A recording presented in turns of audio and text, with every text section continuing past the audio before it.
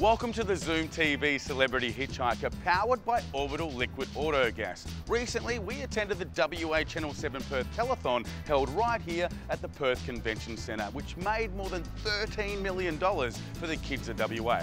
Whilst we were there, we were given exclusive access to Hollywood movie stars, local soapy stars, and billionaire businessmen, which we conducted interviews with inside the John Hughes Zoomobile. I hope you enjoy it. Mr. Kerry Stokes, I have to say, I'm really nervous having you on the van. You're like, you're like the boss. So I had to uh-huh. pick you up. So you should be nervous. You're being evaluated. I'm being evaluated. Well, it's all about asking you questions for charity. So we want to, what I'd love to know, and I'm sure what a lot of people would, is how did it start? How did you get involved in, in business and grow up to where it is now? Oh. Well, first of all, I was born, then I was young, then I got involved in business, and that's where I am now. But telethon, I was actually at the very first telethon 44 years ago when Brian Treasure started it. So I've had a long association with telethon. I just love it. I mean, I love what it does to the city. I love what it does to our state. I love to see how people own it, and, and it's part of our, our, our psyche. Now it's something really valuable in the community. Is there a telethon in particular or uh, that's grabbed your attention that you've evolved with? The last one. Every year, it's what we do different and make it different that's important. I love the history of telethon, but right now, I'm thinking about how we're going to make it better next year. What would be a tip that you could give some of our viewers in business to be successful? Work hard. And that's it. I, I, can't overemphasize it. You know, work hard. You want to want to be successful.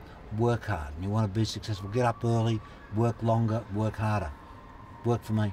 I've got to ask you the fast five questions now. Are you ready for them? Absolutely. Are, are you into cars, Kerry? I love cars. Awesome. Well, this is going to be great because some of the people we've had today haven't. So I'm going to ask you the first car you ever owned. There's a 1928 rugby utility with a gravity feed petrol tank. You do like cars. Look Yes. at that. What, what is your opinion of the worst car that has ever been made? Oh, um, probably the Valiant, the second series after the S. Oh, really? Yeah, it was a horrible car. What's your opinion of the best car on the roads?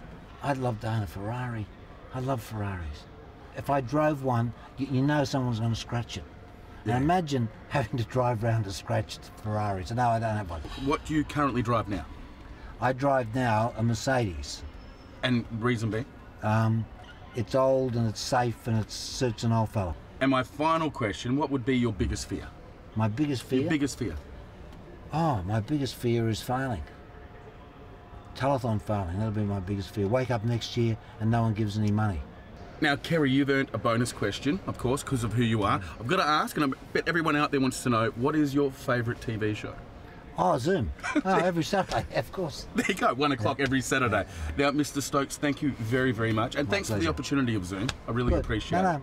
Thank you very much. Now, if you'd like to know anything more about Zoom TV, make sure you go to our website, zoomtv.com.au. You can download our free iPhone app, get hot deals, you can even look at past episodes. But until next week, we'll be back here at 1 pm on 7mate. Thanks for watching.